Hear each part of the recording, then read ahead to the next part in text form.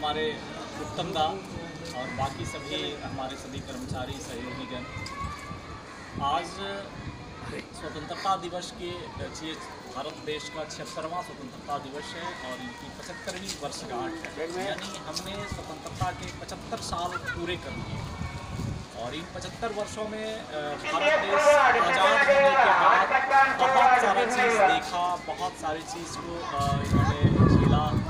और एक तरह से कहा जाए कि हमारे कहा तो जाता है ऐसे कि 200 साल ही गुलाम रहे लेकिन हमारा देश 200 साल गुलाम नहीं रहा है। अगर वस्तुतः आप देखेंगे तो हमारा देश ईसा पूर्व से जो बाहरी आक्रमणों से जूझता रहा है ईरानी आए फारसी आए मुगल आए अंग्रेज़ तो बहुत बाद में आए थे।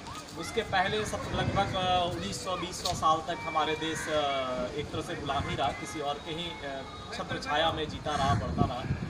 तो ये वस्तुता है कि देश की स्थिति पे होगी और आज़ादी के बाद इन पचहत्तर वर्षों में देश ने जो अभूतपूर्व एक प्रगति की है, उस प्रगति में जो सबसे बड़ा सार्थक कदम है वो समाज का है।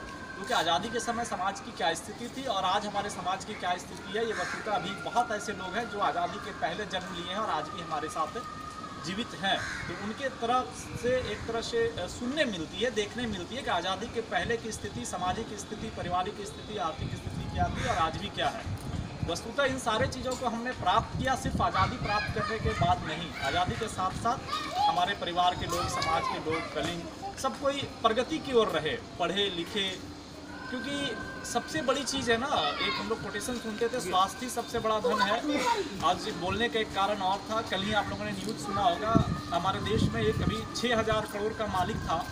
हम्म। जिसको बिग बुलियन कहा जाता था देश का और वो थे मात्र 62 इयर्स के मात्र बासठ साल के उनके पास पैसे के नाम से बोला जाता है छः हज़ार करोड़ रुपये और उन्होंने अपने लिए एक मिनट का सांस की व्यवस्था नहीं कर पाया। यानी हमारे लिए पैसा कुछ नहीं है बाकी सारा चीज़ कुछ नहीं है, स्वास्थ्य ही धन है। तो सबसे पहली चीज़, हम और आप इस ऐसे एक ऑर्गेनाइजेशन से जुड़े हैं, जहाँ पे स्वस्थ रहना, स्वस्थ मानसिकता और स्वस्थ विचार, ये तीनों का मेल से ही हम संभव है कि हम रेल के परिचालन में संपूर्ण जो सेफ्टी का बात आती है कि ज़ीरो दुर्घटना की बात आती है, उसको सुनिश्चित कर सकते हैं। तो आप लोग से एक आग्रह रहेगा कि सबसे पहले अपने स्वास्थ्य पे ध्यान देंगे, स्वस्थ रहेंगे, जिसको हम लोग फ़िज़िकल स्वस्थ और मेंटल स्वस्थ की बात करते हैं, उसके बाद वेल्थ पे भी ध्यान देंगे, क्योंकि आज के समय में पैसा भी ज़रूरी है, लेकिन प्राइमरी है स्वास्थ्य पे ध्यान देंगे, और स्वास्थ्य और वेल्थ के साथ साथ में अपना और अपने बच्चों का, अपने परिवार का एजुकेशन पे सबसे अधिक ध्यान देंगे, क्योंकि अगर वो सिस्टम बढ़ेगा तो आपका परिवार बढ़ेगा, समाज बढ़ेगा, देश बढ़ेगा ऑर्गेनाइजेशन बढ़ेगा। आज के समय में जो इतनी समस्याएँ क्रिएट हो रही हैं कि हम सरकारी नौकरी के लिए जूझ रहे हैं, एक अदद सी नौकरी के लिए जूझ रहे हैं बी टेक एम टेक करके लड़का दस पाँच हज़ार की नौकरी के लिए अदद सा जूझ रहा है। आखिर ऐसी समस्याएँ क्यों आ रही हैं? हमारे पास दो चीज़ होती हैं, एक नौकरी देने वाला, एक नौकरी करने वाला। तो नौकरी करने वालों की तादाद बढ़ती जा रही है, नौकरी देने वालों की तादाद घटती जा रही है और देश की प्रगति नौकरी करने वालों से नहीं बढ़ती है। हमारे देश की प्रगति, समाज की प्रगति, घर की प्रगति नौकरी देने वालों से बढ़ती है। तो कम से कम एजुकेशन सेम है कोशिश सेम है तो हमें कहा जाए कि हम एजुकेशन अपने बच्चों को दें, अपने सहयोगियों को दें, लेकिन एक क्वालिटी एजुकेशन हो और दूसरी चीज़ें हैं कि सीखने की कोई उम्र नहीं होती है।